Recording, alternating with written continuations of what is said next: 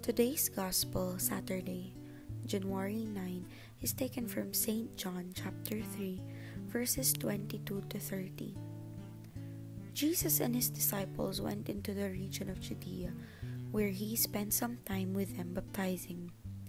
John was also baptizing in Aenon near Salim because there was an abundance of water there, and people came to be baptized, for John had not yet been imprisoned. Now a dispute arose between the disciples of John and a Jew about ceremonial washings. So they came to John and said to him, Rabbi, the one who was with you across the Jordan, to whom you testified, here he is baptizing and everyone is coming to him.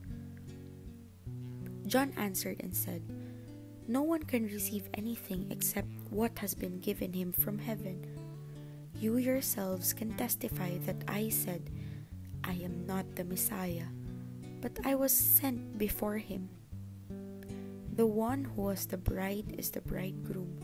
The best man who stands and listens to him rejoices greatly at the bridegroom's voice. So this joy of mine has been made complete.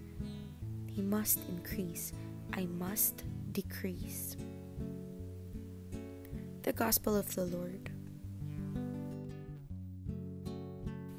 Today's Faithfood reflection is by Brother Paolo Fresnoza of the Hand of the Sower Catholic Community. A lot of people condemn me for an attitude they don't like. I'll confess, I don't want praises. Lahat tayo gusto na na-appreciate, napupuri, o na-acknowledge. Not me. Sa tuwing pinupuri ako, magpapasalamat na lang ako, tatanggapin at makikisama. Pero deep inside my head, I don't benefit from it. It will just feed a crave for ego. I feel uncomfortable kapag sinasabihan, ang gwapo ng gupit mo, brother, o ang galing ng talk mo, ang galing-galing mo, kung ano-ano pa. Kung totoo man yun, good. Pero at the end of it all, in my head, it is not what success is for me. Success for me is to live like Jesus.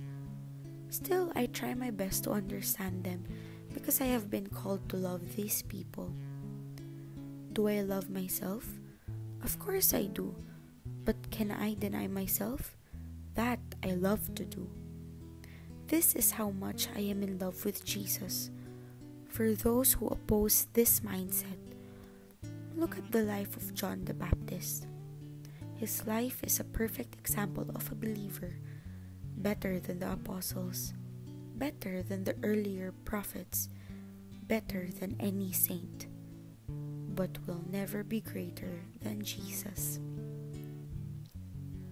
Let us pray. Lord Jesus, may we rejoice that when we decrease, you increase. In the name of the Father, and of the Son, and of the Holy Spirit. Amen.